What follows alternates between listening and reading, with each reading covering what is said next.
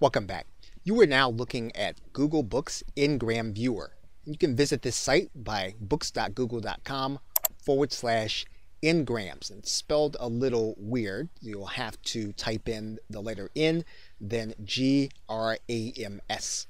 And basically, what Ngram Viewer does is it calculates the popularity of a term within books from the years 1800 to 2000.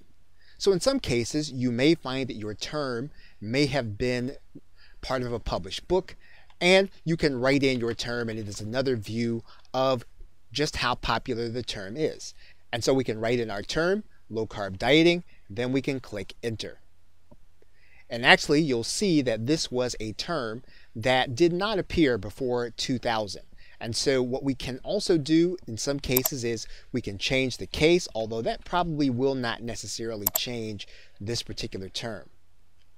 Now, of course, if we were to just use the term dieting, that word would probably appear lots of times in the course of the last years. And you'll notice that the term really picked up in popularity after the 1960s. So again, this is just another way of getting another view of your keyword. And if your keyword was one of those terms that would have been used prior to 2000, you may be able to get some insight on it. Okay, so with that, thanks, and I will see you in another video.